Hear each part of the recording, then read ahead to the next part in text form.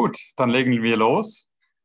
Meine Damen und Herren, herzlich willkommen zu unserem Webinar der EWR als Ausweg aus der europapolitischen Sackgasse? Fragezeichen. Äh, mein Name ist Gabriel Schweitzer. Ich bin Leiter Außenwirtschaft bei der Handelskammer bei der Basel. Es freut mich sehr, dass, so, dass äh, die Teilnehmer so zahlreich erschienen sind heute. Ähm, wir sprechen über Europapolitik. Äh, wie wir alle wissen, befinden wir uns in einer schwierigen Situation ähm, nach der Ablehnung oder nach dem Ende des äh, Rahmenabkommens. Äh, wir stehen am Scheideweg.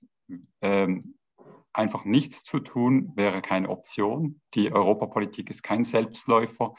Wenn wir nichts tun, dann werden die bilateralen Verträge irgendwann die Wirkung verlieren. Das heißt, wir müssen aktiv nun uns überlegen, wie es weitergeht äh, in der Europapolitik. Und deshalb haben wir zusammen mit Stark und Vernetzt uns entschieden, eine Webinarreihe zu organisieren, in der wir die Optionen, die zu, zurzeit zur Debatte stehen, europapolitisch, einmal vertieft anschauen. Ähm, und wir sprechen eben heute über die Option des EWRs. Ich freue mich sehr auf diese Veranstaltung, ich möchte kurz ähm, sagen, äh, wie es abläuft. Äh, wir beginnen mit einer kurzen ähm, Erklärung, was stark und vernetzt ist. Das ist der heutige Veranstaltungspartner. Ähm, dann haben wir einen Experten bei uns, den Herrn Dr. George Bauer. Ähm, er ist Forschungsbeauftragter Recht am Liechtenstein-Institut und ehemaliger beigeordneter Generalsekretär der EFTA in Brüssel. Und er wird uns heute erzählen, was der EWR ist und was er für die Schweiz bedeuten würde. Äh, wir haben dann nachher eine Diskussion zusammen mit äh, Frau Elisabeth Schneider-Schneider, Nationalrätin die Mitte des Kantons Basel-Landschaft und Präsidentin der Handelskammer bei der Basel. Und wir haben einen Gast aus äh, Liechtenstein bei uns, den Herrn Dr. Richard Senti, er ist Verwaltungsratspräsident der Hoval AG aus Vaduz. Ähm, und Sie haben natürlich am Ende dann die Gelegenheit, auch mitzudiskutieren. Sie dürfen auch gerne während der Veranstaltung schon in, äh, über die Chat-Funktion oder die Frage- und Antwort-Funktion äh, Ihre Fragen eingeben und wir werden sie dann äh, zusammen diskutieren. Äh, ich möchte Sie auch darauf hinweisen, dass die Veranstaltung aufgezeichnet wird. Gut, jetzt möchte ich äh, keine weiteren äh, Sekunden verlieren und übergebe das Wort an Nicole Wiedemeyer von Stark und Vernetzt.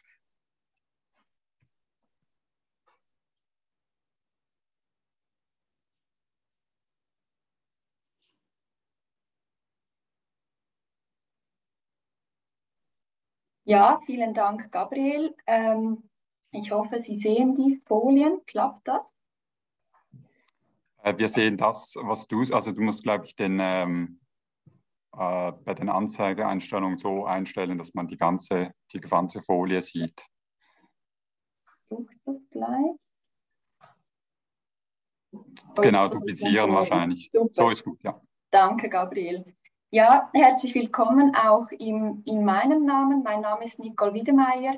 Ich bin äh, Kampagnenleiterin beim Wirtschaftsdachverband Economy Suisse und da in dieser Funktion auch Kampagnenleiterin von Stark und Vernetzt. Und es freut mich sehr, ähm, heute hier dabei zu sein und die bevorstehende Diskussion mitverfolgen zu können. Und zuerst ähm, darf ich aber noch ein paar Worte zu diesem Europa-Campaigning stark und vernetzt sagen. Dafür möchte ich kurz einen Blick ähm, zurückwagen. Und zwar geht es eigentlich um das Jahr 2014. Damals haben europapolitisch zwei doch wichtige ähm, Volksabstimmungen stattgefunden. Im Februar ähm, wurde ganz knapp die Masseneinwanderungsinitiative angenommen und kurz darauf im November wurde dann ähm, Ecopop klar abgelehnt. Und ähm, die Wirtschaft hat sich damals engagiert in beiden Abstimmungskämpfen und hat Hineinkampagnen geführt mit sehr unterschiedlichen Kampagnen. Ähm, gegen die Masseneinwanderungsinitiative hat man einen doch sehr konventionellen Kampf geführt mit einem größeren Absender und bei Ecopop hat man ähm, einen neuen Ansatz gewählt und da ist man aufgetreten mit einer viel bunteren, viel lauteren Kampagne und auch ähm, mit einer größeren ähm, Allianz aus Wirtschaft, Parteien und auch NGO im Hintergrund. Und daraus ähm, haben wir seitens Wirtschaft auch ein Learning gezogen. Ähm, man hat erkannt, dass man sehr komplexe Themen, wie es beispielsweise die Migration, aber auch die Europapolitik beides sind, dass man ähm, künftig folgende Aspekte beachten muss. Einerseits braucht es unserer Ansicht nach eine langfristige kommunikative Begleitung, also die ganze Vielfalt an ähm, Vorteilen der internationalen Vernetzung der Schweiz ähm, muss aufgezeigt werden, aber auch mit einem mit positiveren Geschichten, sage ich jetzt mal. Dann braucht es auch breite Allianzen aus allen Lebensbereichen. Also es reicht nicht mehr, wenn nur die Wirtschaft ähm, sich engagiert und mit den wirtschaftlichen Ang äh, Argumenten auftritt, sondern man braucht auch Stimmen aus der Kultur, beispielsweise aus der Wissenschaft ähm, oder aus der Zivilgesellschaft. Und was sich auch bewährt hat, das sind ähm, bunte Mitmachkampagnen. Das heißt, dass man dort auch die Möglichkeit bietet, dass Stimmbürgerinnen und Stimmbürger sich anschließen können, aktiv werden können und auch persönliche Geschichten erzählen dürfen. Das Resultat, ja, das ist eben das Europa-Campaign Stark und Vernetzt. Das wurde 2015 gegründet und wird heute operativ, äh, operativ ja strategisch von den Wirtschaftsverbänden geleitet. Und das Campaign, ich habe hier ein paar ähm, Impressionen dargestellt, ähm, das verfolgt seit Beginn eigentlich drei übergeordnete Ziele. Also einerseits soll es eine Plattform sein für die Wissensvermittlung. Also wir haben den Anspruch, klassische Informations- und Sensibilisierungsarbeit zu leisten dass wir über Online-Kanäle, über Medien, ähm, aber auch im gekauften Raum beispielsweise ähm, aufzeigen, was uns die bilateralen Verträge gebracht haben und wie wir vernetzt sind und welche Vorteile wir daraus ziehen. Es soll aber auch eine Plattform, also eine Netzwerkplattform eigentlich sein für alle pro-europapolitischen ähm, Akteure in der Schweiz, wo man sich regelmäßig austauscht und dann auch in Abstimmungskämpfen koordiniert. Beispielsweise haben wir mit dieser Allianz von Stark und Vernetzt auch die Abstimmungskämpfe gegen die Kündigungsinitiative, Selbstbestimmungsinitiative oder dann auch fürs neue Waffenrecht ähm, führen dürfen. Dann der dritte Punkt, es soll auch eine Community-Plattform sein für interessierte Stimmbürgerinnen und Stimmbürger, ähm, ich komme darauf dann nachher noch zu sprechen, aber wir haben bereits sehr viele Mailadressen, die wir regelmäßig anschreiben dürfen und wo wir auch äh, Community-Aktionen machen dürfen oder zusammen auf die Straße gehen. Genau, ich habe es angesprochen, mittlerweile ähm, steht eine sehr breite Allianz dahinter. Wir haben zurzeit über 55, äh, 75 Organisationen an Bord aus der Wirtschaft, aus der Politik, Kultur, Gesellschaft, ja auch Wissenschaft. Die Logos sehen Sie hier ähm, abgebildet, die sind aber auch auf der Webseite ähm, einzusehen. Und es haben sich bereits, was sehr erfreulich ist, über 6000 Einzelpersonen bei uns eingetragen und unterstützen uns da. Das war wirklich sehr im Schnelldurchlauf, auch mit Blick auf die Zeit. Ähm, aber dabei sein ist wirklich sehr einfach gemacht. Ich habe hier die Webseite wie auch eine Kontaktadresse aufgeführt. Wenn Sie sich ähm, dafür interessieren oder mehr Informationen wünschen, dann stehe ich selbstverständlich sehr gerne noch äh, zur Verfügung. Besten Dank. Vielen Dank, Nicole, für dieses äh, sehr gute Intro. Die Handelskammer bei der Basel ist natürlich auch dabei bei Stark und Vernetzt und wir sind sehr froh, dass es das gibt. Sehr gut, jetzt ähm, möchte ich das Wort Herrn Dr. George Bauer geben und der uns ähm, den RWR etwas näher bringen wird. Herr Bauer, das Wort ist Ihnen. Vielen Dank, Herr Schweizer. Es hat mich sehr gefreut, dass ich hier herkommen durfte, wenn auch nur virtuell. Äh, wie Sie schon gesagt haben, habe ich 15 Jahre in Brüssel verbracht, äh, vor allem mit der Verwaltung des EWR und habe praktisch wirklich an der Übernahme von Recht im Rahmen des EWR für die drei EWR-EFTA-Staaten Island, Liechtenstein, Norwegen mitgearbeitet. Dabei kam natürlich auch immer wieder das Verhältnis zur Schweiz hinzu, das ja auch, die ja auch ein EFTA-Staat ist und in den immerhin EWR, EFTA-internen Diskussionen immer auch als Beobachterin vertreten ist. Also die Schweiz ist nicht so weit, wenigstens informell, nicht so weit entfernt von dem, was im EWR passiert, wie man es denken könnte. Die Schweizer Vertretung ist praktisch bei allen äh, nicht mit der EU direkt stattfindenden Kontakten als Beobachterin vertreten und bringt sich da auch ein. Ich möchte kurz einführen in den EWR. Das kann ich Ihnen leider nicht ersparen. Äh, es ist nicht ganz einfach, aber es ist fast nötig, um auch den Vergleich herstellen zu können zu dem, was als institutionelles Rahmenabkommen am 26. Mai dieses Jahres vom Bundesrat beerdigt wurde. Ich will am Schluss dann auch noch darauf zu sprechen kommen, kann die Schweiz beitreten und wie wird das von innen oder von außen gesehen, was für Probleme stellen sich da. Lassen Sie mich kurz mit der Geschichte anfangen. Ähm, Mitte der, 90er, der 1980er Jahre startete die Europäische Kommission ihr Projekt für einen vollständig integrierten Binnenmarkt. Den gab es vorher in der Form noch nicht. Die EFTA-Staaten erkannten die politische Brisanz und auch die Entschlossenheit der EU, das wirklich durchzuziehen und wollten nicht zurückfallen. Folglich kam es zu Verhandlungen und auf Vorschlag des damaligen Kommissionspräsidenten wurde dann der EWR als Gedanke äh, geschaffen. Und nach Verhandlungen, die 1990 begannen und schon 1992 beendet waren, stand der EWR als Abkommen auf dem Stand bereit. Er ist dann mit Verzögerungen, nicht zuletzt weil die Schweiz Nein gesagt hatte, am äh, 12. Dezember 1992 äh, in Kraft getreten. Die Schweiz hat nach ihrem, ihrer Ablehnung ihre Beziehungen zur EU durch eine Reihe von bilateralen Abkommen aufrechterhalten und ausgebaut. Und seit dem 1. Januar 95, also ein Jahr nach Inkrafttreten des EWR, sind Österreich, Finnland und Schweden bereits wieder übergetreten zur EU und nehmen seither auf Seite der EU am EWR teil.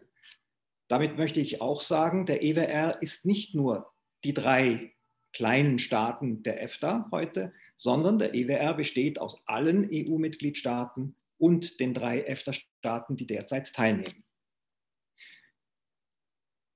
Der EWR wurde 2004 und 2007 äh, erweitert um die jeweils auch der EU beigetretenen Staaten und Ende 2020 ist das Vereinigte Königreich nicht nur aus der EU, sondern auch aus dem EWR ausgetreten.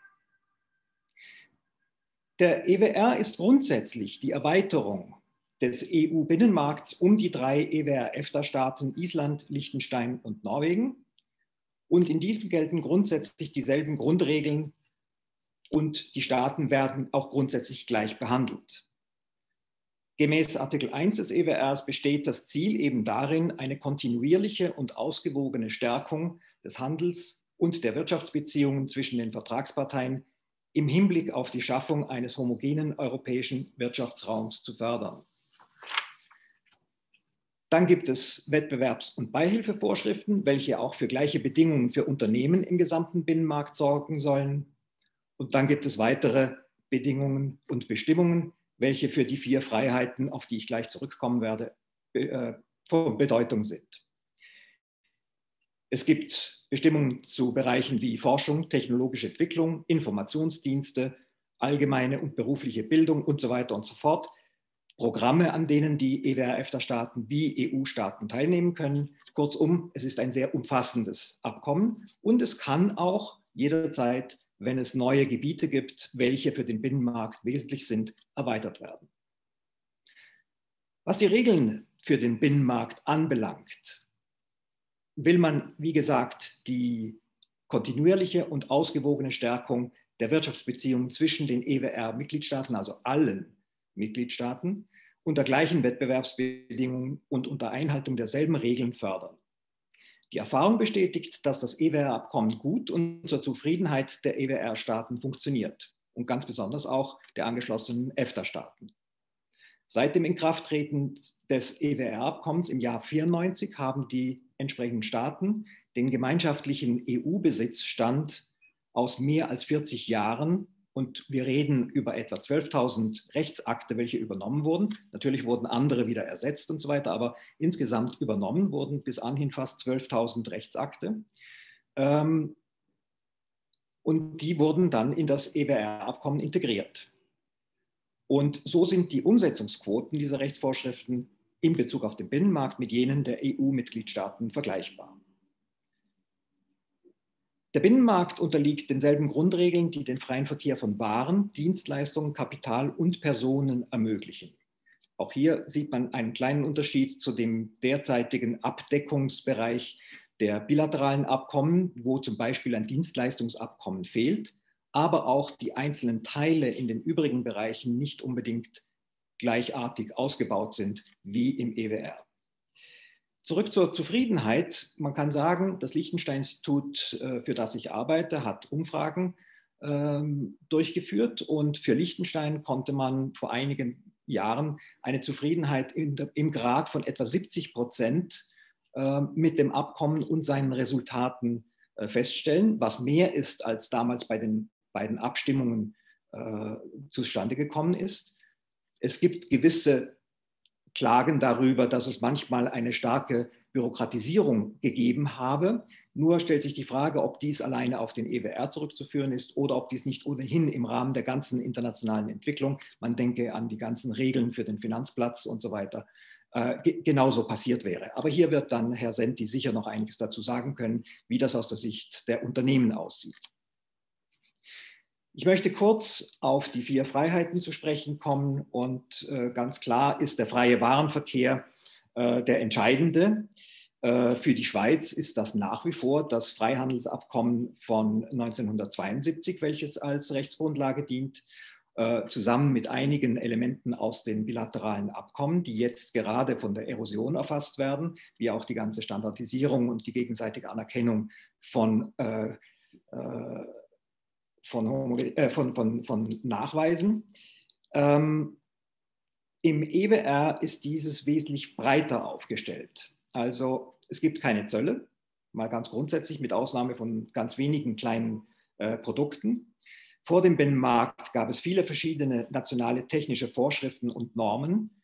Und die sind ganz grundsätzlich im EWR ersetzt worden, während bei, im, im Verhältnis Schweiz-EU eigentlich nur 20 Produktegruppen erfasst sind. Also hier sieht man zum Beispiel einen Unterschied. Die gegenseitige Anerkennung oder Harmonisierung nationaler technischer Normen und die gegenseitige Anerkennung von Prüfverfahren äh, beseitigt im Wesentlichen die Handelshemmnisse, welche bestehen und sie erleichtern natürlich den Handel und sparen Kosten für die Unternehmen. Staatsangehörige des EWR, der EFTA, wir kommen jetzt zur Freizügigkeit, und der EU haben das Recht, in das Hoheitsgebiet eines jeden EWR-Staates einzureisen, um dort zu arbeiten, Arbeit zu suchen und so weiter. Das gilt auch für Studenten, Rentner und nicht erwerbstätige Personen. Äh, und natürlich gibt es auch die entsprechenden Regeln für den Familiennachzug. Im Wesentlichen ist es ähnlich wie im äh, Freizügigkeitsabkommen zwischen der Schweiz und der EU. Allerdings haben die EWR-EFTA-Staaten auch nach mühsamen Diskussionen 2007 die äh, sogenannte Unionsbürgerschaftsrichtlinie übernommen. Ich komme aber darauf noch separat zu sprechen, wenn wir dann über die Unterschiede oder die äh, Problematik im Vergleich zum abgelehnten Abkommen, äh, Abkommenstext äh, besprechen. Das Recht auf Freizügigkeit wird durch ein System zur Koordinierung der Systeme der sozialen Sicherheit und ein System zur Gewährleistung der gegenseitigen Anerkennung von Diplomen ergänzt und unterstützt. Auch dieses ist im Verhältnis Schweiz-EU weitgehend gleich. Dann gibt es die Möglichkeit, und da besteht ein großer Unterschied zur Schweiz, äh, Dienstleistungen, nicht zuletzt auch Finanzdienstleistungen, in einem Mitgliedstaat des EWR zu erbringen, sollte nicht und der sollte auch nicht aufgrund der Staatsangehörigkeit eingeschränkt werden. Äh, der freie Dienstleistungsverkehr ist auch eng mit der Freizügigkeit und dem Niederlassungsrecht verbunden. Und Dienstleistungen spielen natürlich, wie die Industrievertreter hier wissen, auch in vielen Phasen der Warenproduktion eine wichtige Rolle. Ähm, gerade was die Finanzdienstleistungen anbelangt, muss man sagen, dass zum Beispiel Liechtenstein ganz enorm davon profitiert. Es wäre nie möglich gewesen für so ein kleines Land, letztlich bei allen europäischen äh, Behörden die jeweiligen äh, Zugangsbewilligungen zu bekommen für irgendeine ihrer Banken oder Treuhänder oder ähnliches. Hier besteht das System, dass die Aufsicht in Liechtenstein die liechtensteinischen Banken und Finanzdienstleister äh, beaufsichtigt und dies wird anerkannt von allen anderen Aufsichtsbehörden im Binnenmarkt. Dann der freie äh, Kapitalverkehr, der natürlich eine wesentliche Voraussetzung für den freien Verkehr von Personen, Dienstleistungen und Waren ist. Möglichkeit, Kapital ohne unnötige Verzögerung, Transaktionskosten zu bewegen, ist eine Voraussetzung für das reibungslose Funktionieren des Binnenmarktes. Auch da hat die Schweiz eigentlich kein Problem damit im Prinzip. Dazu kommen natürlich Wettbewerb und die horizontalen Politiken. Die Wettbewerbsregeln habe ich bereits erwähnt. Ähm, das EWR-Abkommen enthält Bestimmungen, die das Verhalten staatlicher Monopole regeln, die Verwendung handelsverzerrender staatlicher Beihilfen einschränken und die Möglichkeiten des öffentlichen Auftragswesens für den gesamten Binnenmarkt öffnen sollen. Auch hier erinnern wir uns, dass es einige Diskussionen gab im Zusammenhang mit dem institutionellen Rahmenabkommen. So dann gibt es auch horizontale Bestimmungen, das sind die, welche sich mit Sozialpolitik, Sicherheit am Arbeitsplatz, Gleichbehandlung, Umweltstatistik, Gesellschaftsrecht und so weiter befassen alles Bereiche, die im EWR weitgehend auf Gleichberechtigung hinauslaufen. Dann gibt es auch die Teilnahme an Programmen, auch ein Teil, der jetzt für die Schweiz etwas schmerzlich wird durch, die, äh, durch den Ausschluss aus Horizon 2020, wo die EWR-EFTA-Staaten zu gleichen Bedingungen wie die EU-Staaten äh, teilnehmen können und sich aber in dem Bereich auch durchaus auswählen können, was sie gerne möchten oder wo sie nicht teilnehmen möchten. Das ist anders als in anderen Bereichen, vor allem bei den vier Freiheiten, wo es einfach gilt, entweder alles zu übernehmen oder nicht teilzunehmen. Dabei geht es um Programme, die gehen nicht nur über Forschung und technologische Entwicklung, auch Informationsdienste, Umwelt, Bildung, Ausbildung und Jugend etc. sind erfasst. Ein Thema, das auch die schweizerische Bevölkerung etwas umgetrieben hat, sind die äh, Kohäsionszahlungen. Diese sind als Finanzmechanismen im EWR institutionalisiert. Das heißt, sie wurden einmal hineingeschrieben, haben sich dann zu einer stets wiederholten äh, Zahlung entwickelt, wobei dort das immer wieder mal angepasst werden musste, wenn neue Staaten beigetreten sind. Natürlich wurde schon früh von der EU gesagt, dass es eine Art Teilnahmegebühr ist für den Binnenmarkt. Aber äh, es ist natürlich auch ursprünglich äh, gedacht als Verringerung der wirtschaftlichen und sozialen Ungleichheiten, vor allem gegenüber den Staaten Osteuropas. Ähm, die EWR-EFTA-Staaten zahlen einiges, aber sie werden auch diese ganzen Mechanismen selber verwalten können oder sie tun es. Äh, es gibt eine ganze Institution, die mittlerweile fast gleich groß ist wie das EFTA-Sekretariat im Übrigen, welche sich nur mit diesen Kohäsionszahlungen befasst. Also man kann nicht, wie es in der Schweizer Presse oft da, äh, gesagt wurde, davon reden, man sende eine Milliarde nach Brüssel. Es ist keineswegs so, sondern man stellt eine Milliarde jetzt von der Schweiz aus gesehen zur Verfügung, um sie in Programmen vor Ort einzusetzen, wovon letztlich ja auch wieder die eigene äh, Wirtschaft profitieren kann, weil es zu Kooperationen kommt im Rahmen dieser Programme und Projekte. Dies nur so am Rande, weil es doch eine etwas umstrittene äh, Thematik ist.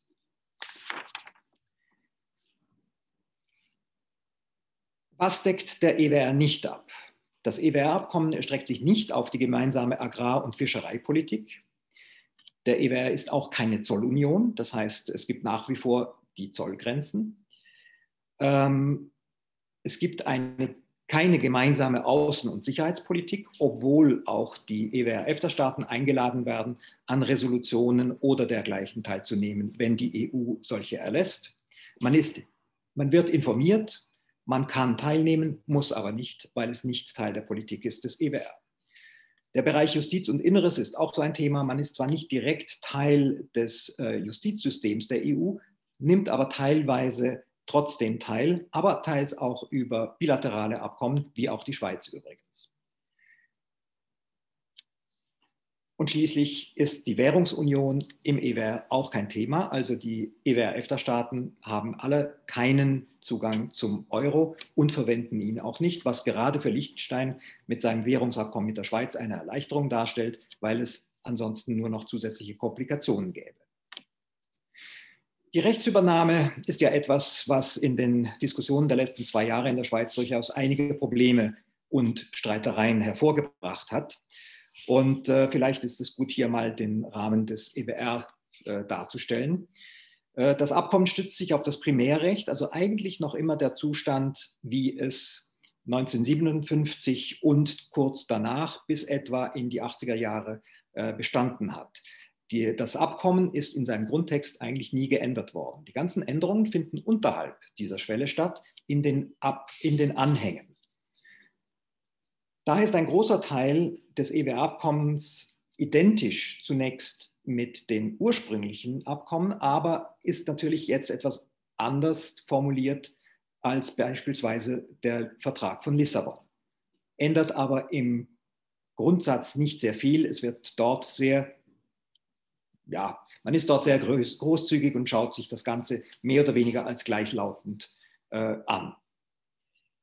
Die Anhänge beziehen sich auf den im EWR geltenden gemeinschaftlichen EU-Besitzstand und dort werden jeweils die neuen Rechtsakte eingehängt. Also jedes Mal, wenn man eine Runde hat, in welchen man neue Rechtsakte übernimmt, werden diese dann je nach Thema in einem Anhang eingehängt und dort findet eigentlich die wirkliche Ergänzung statt und in diesen Anhängen findet auch die nach, der Nachvollzug eigentlich statt des Rechtsbestandes, wie er im EU-Binnenmarkt stattfindet. Auch dann gibt es noch Protokolle, welche über irgendwelche Zollregelungen, Übergangsfristen für die EWR-EFTA-Staaten, Ausnahmen und so weiter äh, Auskunft geben. Damit kommen wir natürlich auch zur Frage des, der Dynamik bei der Übernahme von Recht, welche gerade zuletzt äh, vor dem Mai dieses Jahres zu großen Diskussionen auch bezüglich des institutionellen Rahmenabkommens geführt hat. Diese Dynamik ist eines der zentralen Merkmale des EWR-Abkommens und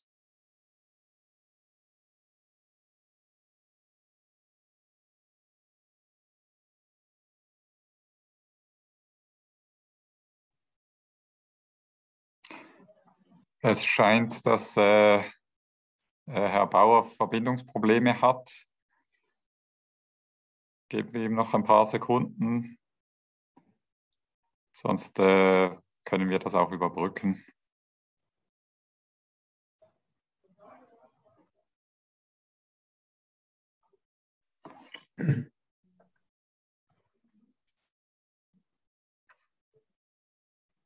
Herr Bauer, können Sie uns hören? Sind Sie noch da?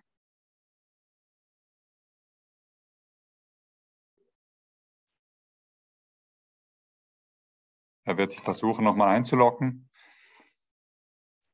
Dann würde ich vielleicht sagen, dass wir kurz warten. Da ist er wieder. Herr Bauer, Sie sind zurück.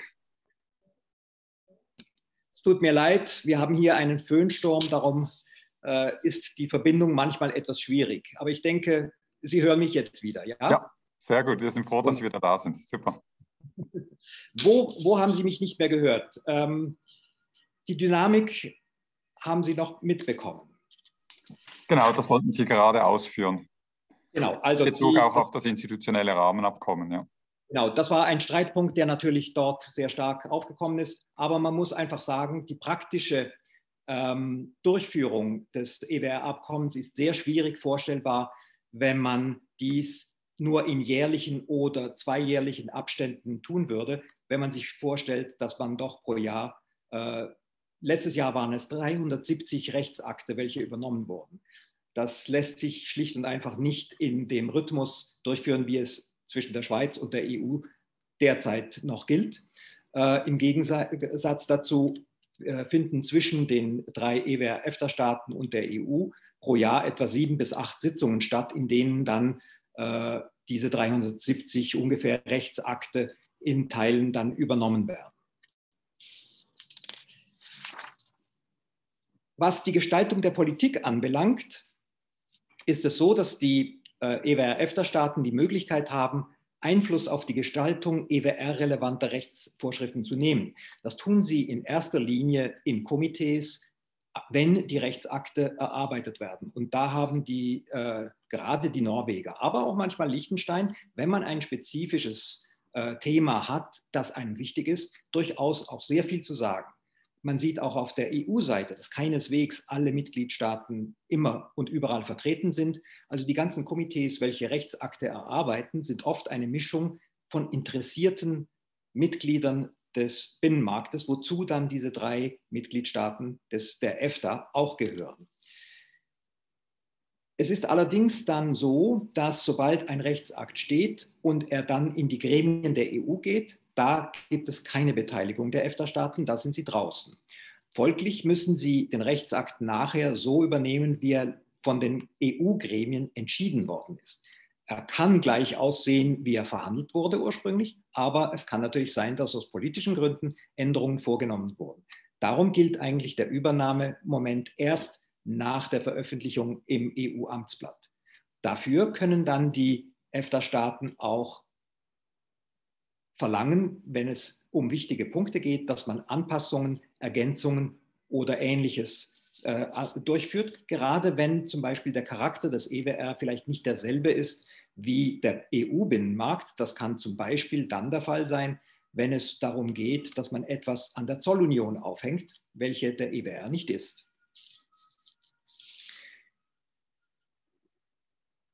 Die Entscheidungsfindung läuft so, dass zuerst die EBR-EFTA-Staaten sich letztlich über den Rechtsakt und die Änderungen einig werden und mit einer Stimme gegenüber der EU sprechen. Und das zeigt eben auch, dass es sich um ein Abkommen zwischen der EU und EFTA handelt und nicht mit den Einzelstaaten. Und das ist ein grundsätzlicher Unterschied zum Verhältnis zwischen der Schweiz und der EU, wo ein Einzelstaat mit der EU einen bilater also bilaterale Abkommen schließt. Und das ist nicht zu unterschätzen, weil daraus ergibt sich auch die Möglichkeit, dann eben eigene Institutionen äh, zu schöpfen, welches nur im EWR existiert bis jetzt für assoziierte Staaten.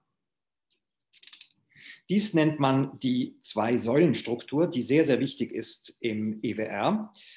Ähm, und während beispielsweise die Europäische Kommission mit der Überwachung der Einhaltung des EU-Rechts durch die EU-Mitgliedstaaten betraut ist, tut dies auf der EWR-EFTA-Seite die EFTA-Überwachungsbehörde. Also es gibt eine eigene Überwachungsbehörde für die drei Staaten. Ebenso wie die Gerichte der EU-Mitgliedstaaten den, letztlich den Gerichtshof der EU, also den EuGH, anrufen, entscheidet der EFTA-Gerichtshof über solche Vorlagen durch Gerichte der drei EWR-EFTA-Staaten oder auf Klagen der Überwachungsbehörden. Vorsitzende der Überwachungsbehörde bzw. Richter äh, im EFTA-Gerichtshof sind ausschließlich Staatsangehörige oder beziehungsweise Staatsangehörige der drei EFTA-Staaten. Im Fall Liechtensteins war es auch schon ein Schweizer. Äh, aber in jedem Fall ist die EU bei all diesen Gremien auf der EFTA-Seite nicht involviert. Das ist auch immer wichtig festzuhalten, weil damit auch durchaus eine, ein gewisser Souveränitätsschutz stattfindet, allerdings auf internationaler Ebene.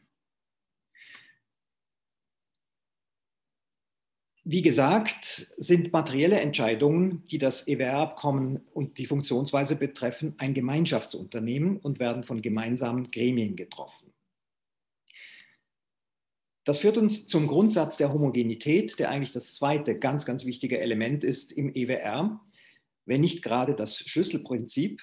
Es gibt den wichtigen Punkt einerseits auf der gesetzgeberischen Seite, dann aber auch auf der Seite der Gerichtsentscheidungen. Das heißt, es muss im Prinzip gleichartig entschieden werden. Es muss dafür gesorgt werden, dass möglichst gleichzeitig die gleichen Regeln oder die gleichen Entscheidungen im EWR nachvollzogen oder durchgeführt werden.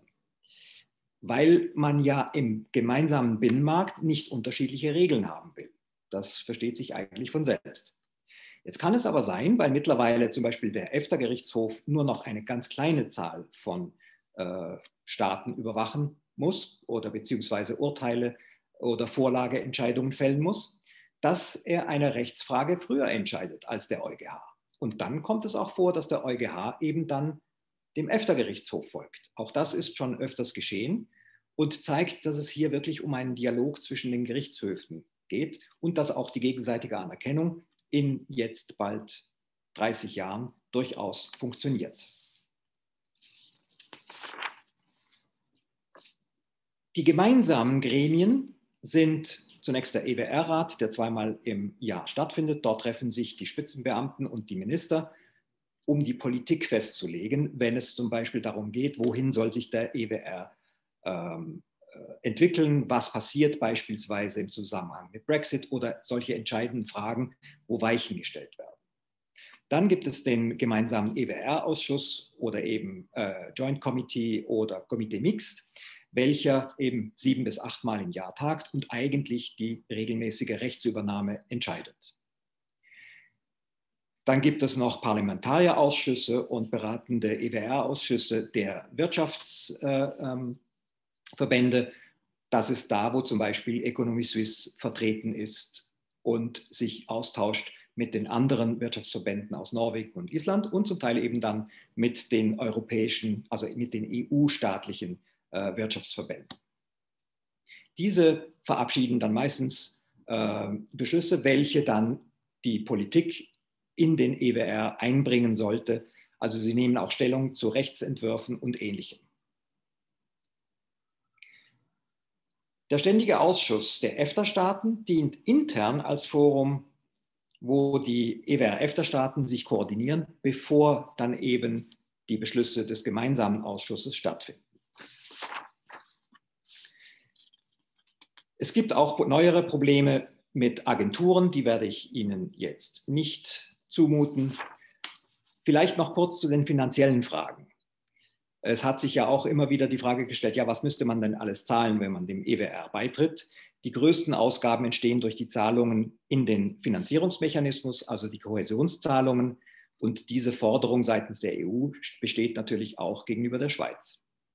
Darüber hinaus fließt ein beträchtlicher Beitrag in die Teilnahme der EWR-EFTA-Staaten an EU-Programmen, also ähm, äh, zum Beispiel Horizon 2020. Das ist nicht billig, aber es gibt natürlich dann wieder den Rückfluss, vor allem für die eigenen, äh, für die eigenen Forscher und für die, gerade im Fall der Schweiz, eigentlich sehr fortgeschrittene und, äh, und äh, sehr geschätzte äh, Forschung, welche leider jetzt etwas unter Druck gerät im europäischen Rahmen. Dann fallen noch Kosten für die Übersetzung von Rechtsakten, die Finanzierung von Gerichtshof und ESA und so weiter statt, äh, dazu. Aber das ist nicht viel Geld. Also es ist immer noch sehr, sehr viel weniger, als wenn man zum Beispiel Vollmitglied bei der EU wäre. Das ist der kurze Überblick über den EWR. Vielleicht die Frage als nächstes, kann die Schweiz heute dem EWR beitreten? Äh, das ist eine rechtliche Frage.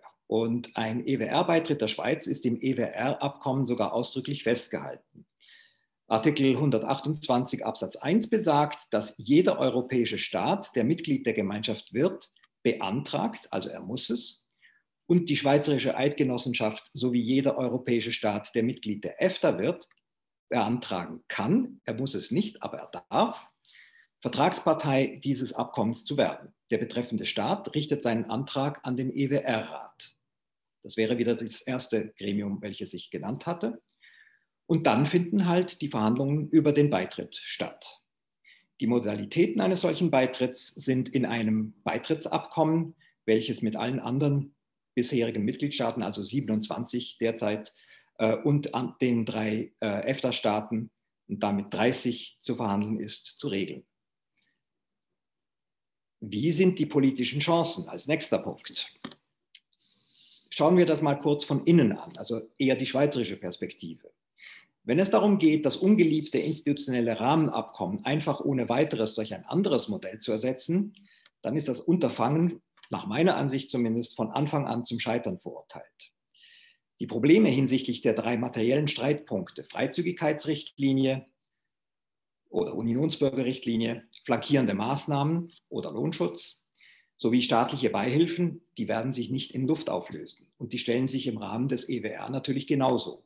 Im Gegenteil, sie sind schlicht und einfach bereits schon gegeben und es gibt dort sehr wenig Möglichkeiten, davon abzuweichen. Natürlich kann man darüber diskutieren, ob Ausnahmen oder Anpassungen dann für die Schweiz möglich wären.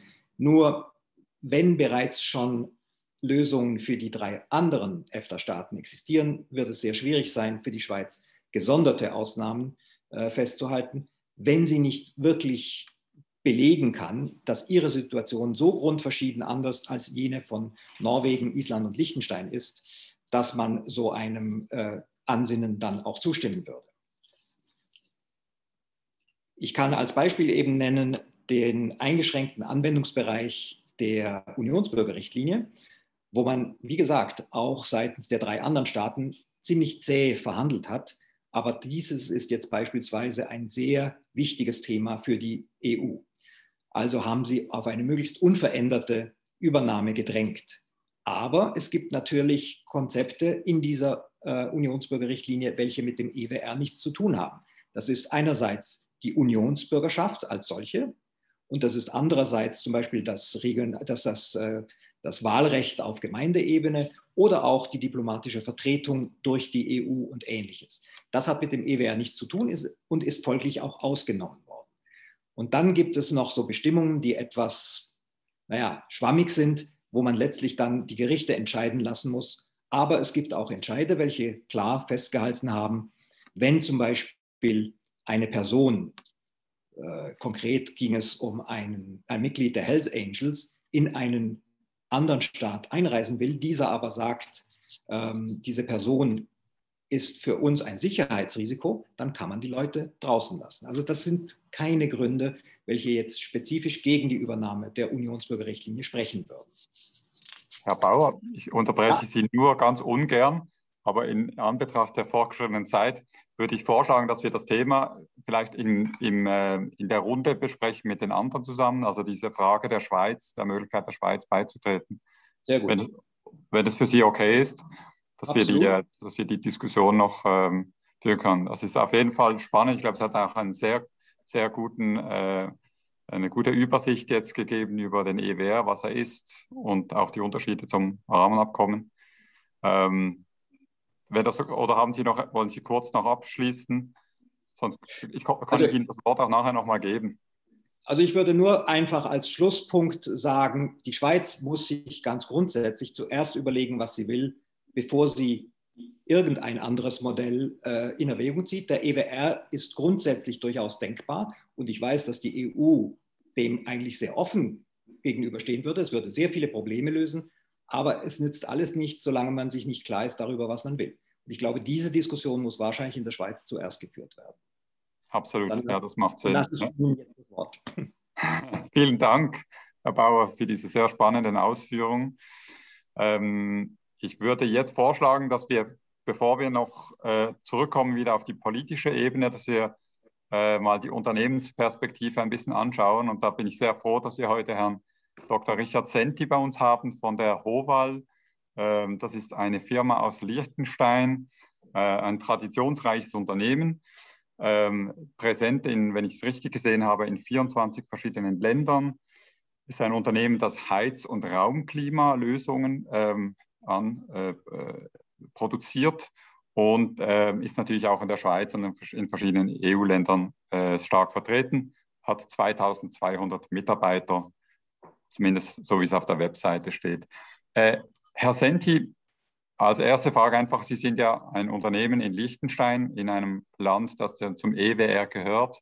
Sind Sie jetzt als Unternehmen zufrieden mit, mit dem EWR?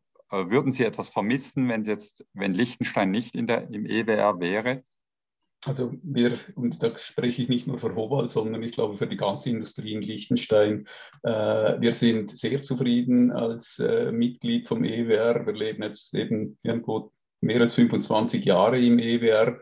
Für uns ist er eine Selbstverständlichkeit. Äh, wir haben wirklich den diskriminierungsfreien Zugang zu einem riesigen Markt, nicht nur mit Waren, sondern auch mit Dienstleistungen.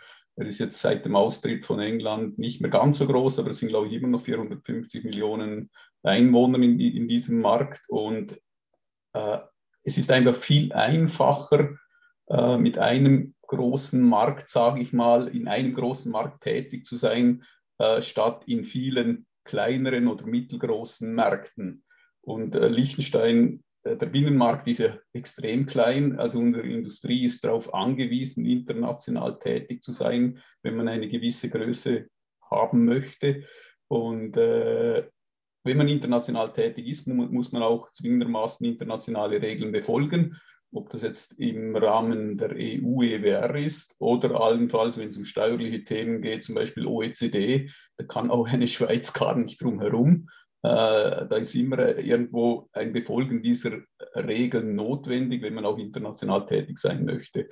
Und insbesondere, glaube ich, auch der Dienstleistungs, äh, die Freizügigkeit betreffend Dienstleistungen hat Liechtenstein stark vorangebracht die letzten 25 Jahre. Äh, Liechtenstein ist sehr industrielastig. Wir haben äh, Industrieanteil am BIP bis irgendwo 45 Prozent. Das war vor dem EWR noch stärker. Das heißt, in seit wir im EWR sind, hat sich der Dienstleistungssektor, insbesondere der Finanzdienstleistungssektor, noch besser entwickelt als der Industriesektor. Und das ist ganz klar auch auf äh, den Zugang äh, von Finanzdienstleistungen im, in der EU da, darauf zurückzuführen. Also das Anlagefondsgeschäft in Liechtenstein hat sehr gut äh, sich entwickelt in diesen 25 Jahren. Das wäre ohne den EWR gar nicht möglich gewesen. Sehr gut. Also das klingt sehr positiv. Ähm, Gibt es keine Punkte, wo Sie sagen können, ähm, dass Liechtenstein jetzt Re äh, Regulierungen oder Gesetze übernehmen musste aus dem EWR, die, die aus Ihrer Sicht äh, keinen Sinn machen oder wo Sie sich lieber eine, eine eigene Lösung äh, gewünscht hätten oder wo Sie sagen müssen, das hat jetzt zu mehr Bürokratie oder zu mehr Aufwand geführt? Sehen Sie diese negativen Punkte weniger? Die, die Regulierungsmasse ist sehr groß, die da von, von der EU reinkommt. Der Herr Bauer hat es erwähnt, irgendwo 12.000 Rechtsakte, die äh, übernommen werden mussten. Äh, Im Großen und Ganzen sage ich, das sind Rechtsakte, mit denen lässt sich sehr gut leben. Die haben auch Liechtenstein zum Teil wirklich vorangebracht. Äh, das kürzlich in aller Munde gewesene Ereignis war die Datenschutzgrundverordnung der EU. Äh, klar war es ein Pain für alle Unternehmen, das einzuführen, aber der Pain, sage ich mal, ist nicht größer als das, was jetzt die Schweizer mit ihrem Datenschutzgesetz wahrscheinlich auch machen müssten. Äh, der große Vorteil ist aber, ja, es ist ein Rahmen, der ist dann auch im ganz im großen internationalen Umfeld sehr gewichtig. Ich sage mal, wenn es dann in, in die Diskussion im Datenschutz mit den USA geht oder mit China, hat wahrscheinlich die EU ein größeres Gewicht als nur die Schweiz. Es hat auch Vorteile. Klar, im Kleinen gibt es auch Nachteile. Wir haben ein sehr liberales Arbeitsgesetz. Das geht eigentlich auf das Schweizer Arbeits Arbeitsgesetz zurück. Irgendwann Ende 60er Jahre hat Liechtenstein das, sage ich mal, autonom übernommen so wie das die Schweiz auch oft tut, wenn es um EU-Regeln geht. Äh, das, das, ist unsere Prägung äh, im Arbeitsgesetz, die liberale Haltung der Schweiz. Und da kommen schon auch kleine Regeln rein aus der EU. Die sagen wir, das ist nicht ganz so liberal, äh, aber das sind kleinere Beispiele. Jetzt zum Beispiel bei das Lernende nicht mehr als 40 Stunden die Woche arbeiten dürfen. Das war in unserem Arbeitsgesetz oder im Schweizer Arbeitsgesetz war das nicht der Fall. Da konnte man auch 42 okay, äh, ist jetzt halt mal so, aber mit dem kann man leben. Mhm. Äh, auf der anderen Seite gibt es auch Dinge, die, äh, also es ist, muss ja nicht alles eins zu eins übernommen werden. Es gibt gewisse Dinge, die müssen wir eins zu eins übernehmen, aber es gibt immer auch noch äh, bei den Richtlinien äh, das, das Liechtenstein-Finish. Zum Beispiel Elternurlaub ist so ein Thema. Äh, wir kommen nicht umhin, auch vier Monate zu gewähren. Aber wer das dann zahlt, ob der Arbeitgeber oder wie da die, die Aufteilung Arbeitgeber-Arbeitnehmer ist, das können wir selber bestimmen. Und äh, also es gibt Möglichkeiten, das auch auf unser Land passend zu gestalten. Und gerade äh, ich kenne auch Island und Norwegen ein wenig, auch die haben einen großen Anspruch auf Souveränität und auch denen ist es gelungen, ihren Anspruch auf Souveränität die letzten 25 Jahre zu bewahren. Und ich glaube, das wäre auch für die Schweiz möglich. Gut, vielen Dank. Das ist sehr spannend, diese Einschätzung eines Unternehmens. Ich möchte jetzt auch noch ein bisschen auf die Schweiz schauen. In der Schweiz haben ja auch äh, viele Menschen Vorbehalte gegen diese Regulierung aus, äh, aus der EU. Ähm, wir hatten ja vor 30 Jahren diese Entscheidung zum EWR. 50,3 Prozent der Stimmbevölkerung haben Nein gesagt. Ganz knappes Resultat. Frau Schneider-Schneider, wenn wir heute abstimmen würden, wie würde das ausgehen, der EWR in der Schweiz? Ja, besten Dank, Gabriel, geschätzte Zuhörerinnen und Zuschauerinnen.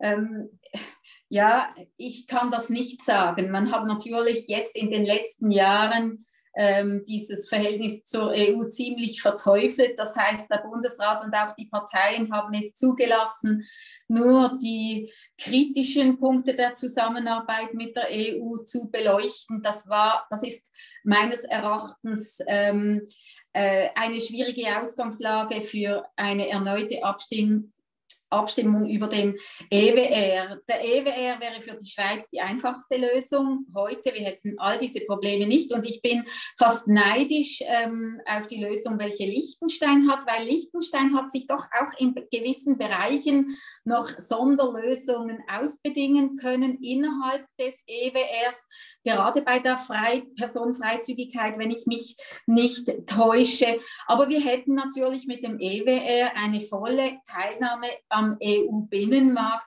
Wir hätten jetzt nicht mit diesen aktuellen Problemen zu kämpfen, wie Blockierung beim Stromabkommen oder Erosion des EMRE-Abkommens, wie jetzt ähm, bei der MedTech-Branche äh, sichtbar wird oder auch die verweigerte Assoziierung bei Horizon hätten wir jetzt mit dem EWR nicht. Und man muss sehen, das wurde auch nicht gesagt, dass für die EU der EWR das bevorzugte Modell für Drittstaaten ist, welche sich am europäischen Binnenmarkt beteiligen möchten wirtschaftlich, aber eben nicht interessiert sind an der politischen Integration.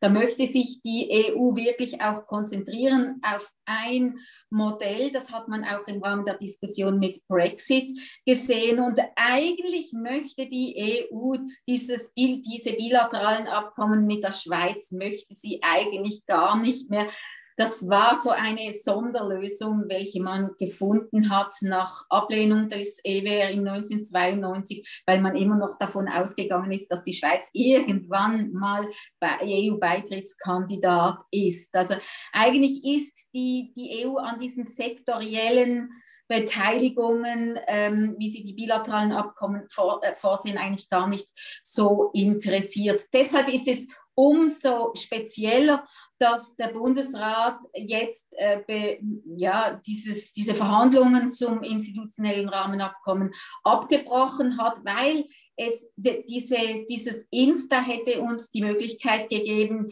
diesen Sonderweg weiterzufahren, und zwar Sonderweg in dem Sinne, dass wir uns auf jene sektoriellen Abkommen hätten beschränken können, welche wir eben auch äh, noch weiter wollen der, der, die EU hätte eine gewisse Rosinenpickerei weiterhin akzeptiert. Und man muss sehen, dass ähm, mit dem EWR, also wenn wir uns auch jetzt auf die Idee kommen würden, den EWR 2 nochmal aufzulegen, wir hätten mit den gleichen Problemen zu kämpfen in Bezug auf diese, äh, diese Streitschlichtung, in Bezug auch auf diese speziellen Fragen der flankierenden Maßnahmen und staatlichen Beihilfen und UBRL, diese Einwanderung in unsere Sozialhilfesysteme. Man hätte mit, mit sämtlichen Fragen, äh, Fragen ähm, auch äh, die gleichen ähm, Streit, Streitereien. Es ist richtig, was Herr Bauer gesagt hat. Wir müssen zuerst mal national wissen, was wir wollen an vorderster Front der Bundesrat. Das soll jetzt die Reihen schließen, die Europapolitische Allianz wieder schmieden von SP bis, äh, bis und mit FDP und dann mit einer Vorlage kommen, ich nenne es immer bilaterale drei, wie das Herr Ambül auch wollte, eine Vorlage, ähm, welche dann Mehrheiten in der Bevölkerung gewinnen könnte. Ich bin überzeugt, wenn der Bundesrat geeint ist, dann werden auch die Parteien hinter, die Bundesratsparteien hinter dem Bundesrat stehen, mit Ausnahme der SVP. Und dann wird es uns gelingen, hier Lösungen zu finden ähm, in Bezug auf den bilateralen Weg. Alles andere äh, wird vermutlich politisch ähm, sehr schwierig werden. Okay, vielen Dank für diese Einschätzung. Also der EWR eher als äh, schwieriges, schwieriges Projekt, weniger realistisch, wird wahrscheinlich auch sehr lange dauern, bis man diese ganzen Vorbereitungen und so dann äh, zur Verfügung hat. Und, äh, aber eben ein, ein Stolperstein bei uns war ja noch diese, war ja der Lohnschutz. Das ist immer ein großes Thema. Flankierende Maßnahmen und das Argument, wenn wir diese nicht haben, ähm, diese flankierenden Maßnahmen, dann, dann sinken die Löhne. Oder das würde mich jetzt zum Beispiel mal interessieren. Im EWR haben wir keine, keinen Lohnschutz wie in der Schweiz. Wir haben, wenn ein Dienstleistungsunternehmen aus der EU nach Liechtenstein kommt, dann hat, muss es nicht acht Tage vorher sich anmelden. Ähm, es gibt nicht diese Regeln wie in der Schweiz. Herr Senti, was ist Ihre Erfahrung in Liechtenstein? Sind die Löhne stark unter Druck gekommen jetzt dadurch, dass Sie diesen Lohnschutz nicht haben? Oder wie sieht die Situation aus?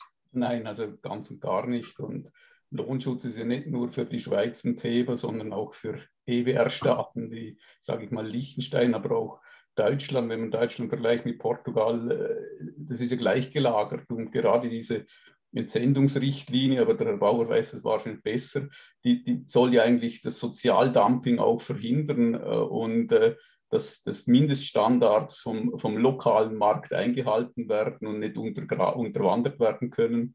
Also in unserem Entsendungsgesetz ist auch drin, wenn ein ausländisches Unternehmen in Liechtenstein tätig wird, muss es die, die Gesamtarbeitsverträge, da wo es solche gibt, auch einhalten. Also da ist dieser Lohnschutz aus meiner Sicht gegeben und in der Praxis ist es so, äh, wir haben ja zwei Nachbarkantone, St. Gallen und Graubünden und äh, Vorarlberg als Bundesland von Österreich.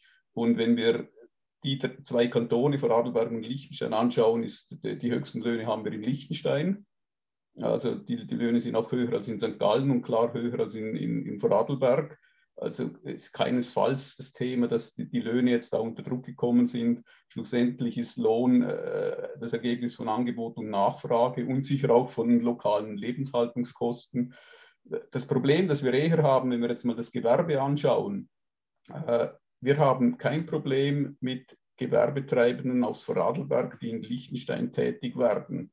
Das hört man nie, dass es ein Problem ist. Aber Liechtenstein, das Liechtensteiner Gewerbe hat ein großes Problem mit dem St. Galler Gewerbe, weil äh, die Schweiz hat natürlich dann die gleichen Regeln, die die EU der Schweiz auferlegt hat, mit diesen 90 Tagen und der 8 Tage Voranmeldung, haben die dann den Liechtensteiner auferlegt. Es gibt da eine kleine Ausnahme. Und mit dem hat unser Gewerbe sehr wohl ein Problem. Aber mit dem äh, Gewerbe aus Vorarlberg, das auch im EWR ist, überhaupt nicht. Also überhaupt okay. nicht. Man hört mal nicht irgendwelche Klagen davon. Ja, interessant. Es ist immer eine Frage der Perspektive und, und Liechtenstein ist natürlich in dieser speziellen Situation mit dieser engen Ver Verknüpfung mit der Schweiz und mit dem EWR gleichzeitig. Ähm, mich würde, wir haben jetzt Liechtenstein heute als Beispiel, aber es gibt auch noch Norwegen und ähm, andere EWR-Staaten. Äh, Elisabeth, du bist auch viel in Europa unterwegs. Weißt du, wie das die Norweger erleben, den EWR? Gibt es da keinen Widerstand dagegen?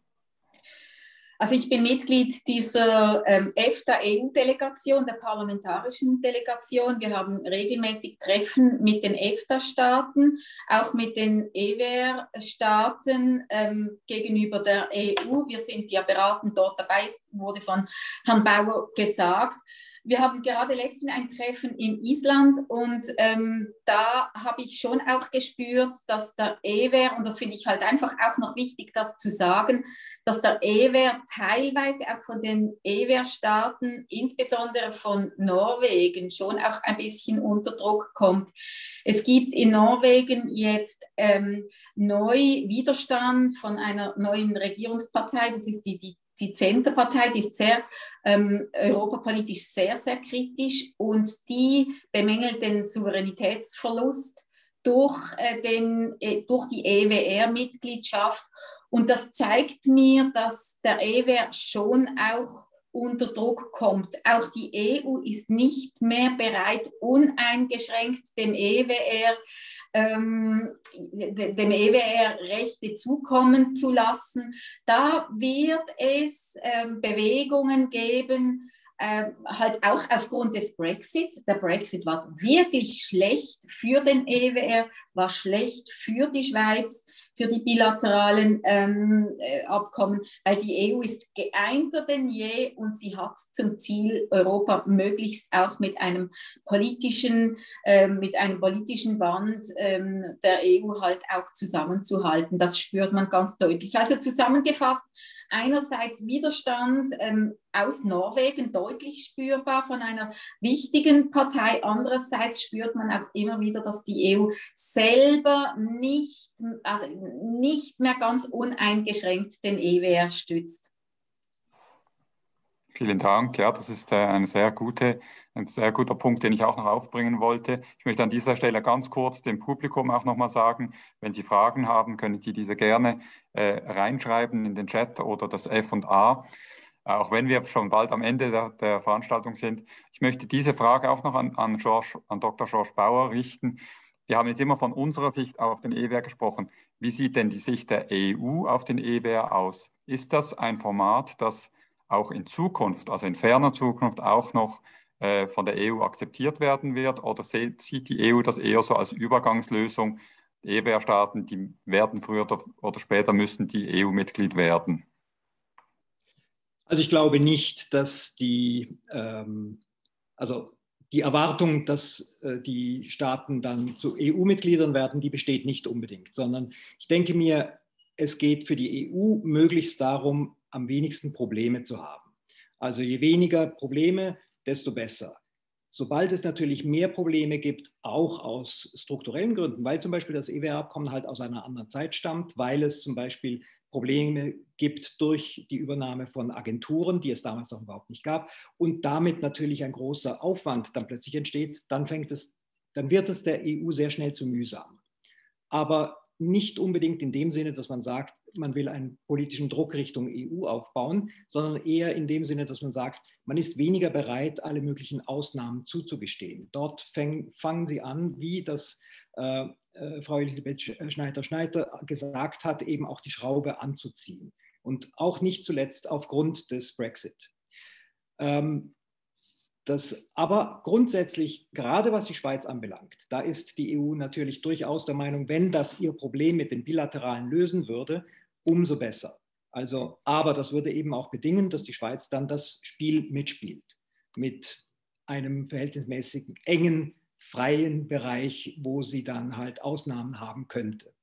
Ja. Das andere ist dann noch Norwegen, wo man natürlich sagt, gerade wegen dieser Zentra äh, Zentrumspartei gibt es das Problem, dass Norwegen den EWR als ein binnenpolitisches äh, Problem sieht. Es ist ein Kompromiss zwischen bilateralen Verhältnissen und einem EU-Beitritt, der schon zweimal nicht funktioniert hat in Norwegen. Darum ist der EWR natürlich möglichst für die Norweger ungeändert zu lassen und jeder fremde Beitritt droht für die Norweger an dieser innenpolitischen Balance etwas zu ändern. Und darum sind sie natürlich oft kritisch, wenn sie nicht die Sicherheit haben, dass dann das Spiel mitgespielt wird, so wie es jetzt über 30 Jahre funktioniert hat. Also eine Großzahl von Referenten wäre tödlich für den EWR. Sehr, sehr gut, vielen Dank. Äh, wir sind schon fast am Schluss. Ich möchte jedem Teilnehmer noch kurz die Möglichkeit geben, einen kleinen Ausblick zu machen. In wenigen Sätzen auch an Sie, Herrn Senti, einfach kurz äh, beschreiben, was aus Ihrer Sicht Ihr Wunsch wäre, äh, wie die Schweiz weitergeht äh, mit, mit der Europäischen Union. Ähm, was sollten die nächsten Schritte sein? Was ist Ihre Forderung an die Politik? Auch aus Ihrer Perspektive, Herr Senti, was wünschen Sie sich, dass, wie die Schweiz weiterfährt? Was wäre für Ihr Unternehmen der beste Weg? Ja, Wenn wir klar, gleich bei Ihnen anfangen. Ja, ganz klar, dass, dass die Schweiz ein nahes Verhältnis zu der äh, EU findet, sei es über den EWR, sei es über bilaterale Abkommen weil das, was jetzt im Moment läuft, das geht in die andere Richtung. Die, die Schweiz äh, entfernt sich tendenziell mehr von der EU. Und dann haben wir äh, auf der anderen Seite einen Zollvertrag, sehr enges wirtschaftliches Verhältnis mit der Schweiz oder auch der, der, der Währungsvertrag. Äh, wenn wir dann in zwei Räumen tätig sind mit unterschiedlichen, weit auseinanderlaufenden Regelungen, das würde die Wirtschaft sehr unter Druck setzen, sowohl die Industrie wie auch äh, die Finanzdienstleister. Also da ist uns am liebsten entweder bilaterale Rahmen mit, mit entsprechendem Rahmenabkommen oder eben ein EWR-Beitritt. Eine groß größere Abkopplung, das würde Liechtenstein wahrscheinlich auch vor die Frage stellen, ob wir noch im EWR bleiben. Weil wir müssen uns dann irgendwann vielleicht auch entscheiden, gehen wir wieder, ich sage mal, in den Rucksack der Schweiz rein, wird wahrscheinlich auch schwierig, oder gehen wir dann ganz in den Rucksack äh, der EWR, weil das beides wird schwierig wahrscheinlich. Gut, vielen Dank. Äh, Elisabeth? Ja, wir brauchen ähm, möglichst bald eine rasche und solide Lösung für die Weiterführung des bilateralen Weges. Wir dürfen auf keinen Fall die Wahlen 23 abwarten. Wir brauchen jetzt Lösungen, ansonsten die bilateralen Verträge erodieren. Wir brauchen ein Stromabkommen, um die Versorgungssicherheit langfristig festzulegen, äh, sicherzustellen. Wir brauchen Horizon, um den Forschungs- und Innovationsstandort langfristig zu sichern. Wir kommen nicht darum herum, in den nächsten Monaten den Dialog mit der EU bezüglich Rahmenabkommen wieder aufzunehmen, ein Paket zu schnüren, im Bundesrat Einigkeit hinzubekommen, ins Parlament zu bringen. Und ich bin überzeugt, dann werden wir ähm, eine Volksabstimmung gewinnen und den bilateralen Weg langfristig damit sichern. Vielen Dank und äh, abschließend noch Herr Bauer. Also ich möchte mich dem nur anschließen. Ich möchte aber eben auch empfehlen, dass man sagt, man sollte ohne Scheuklappen verschiedene Möglichkeiten auch anschauen. Man hat es nach meiner Ansicht zu früh angefangen, sich auf einen einzigen Weg festzulegen. Man hat die Idee des Andockens an die EFTA-Institutionen, die auch solche der Schweiz wären, aber unter Beibehaltung des bilateralen Weges äh, hat man zu früh nach meiner Ansicht einfach äh, beiseite geschoben. Solche Ideen sollte man zumindest vielleicht einmal anschauen. Und im Übrigen möchte ich mich dafür entschuldigen, dass ich zu viel Zeit in Anspruch genommen habe. Kein Problem. Es war sehr spannend und äh, es äh, war sehr schade, Sie zu unterbrechen. Äh, vielen Dank für diese Schlussworten. Ich möchte mich nochmals bei allen bedanken. Wir haben ein bisschen überzogen. Ich möchte auch die Frage im Chat noch kurz beantworten. Ja, die Aufzeichnung werden wir äh, auf unsere Webseite stellen, dass Sie das nachher nochmal nachsehen können oder für diejenigen, die nicht, heute nicht dabei sein konnten. Gut, vielen Dank und dann bis zum nächsten Mal.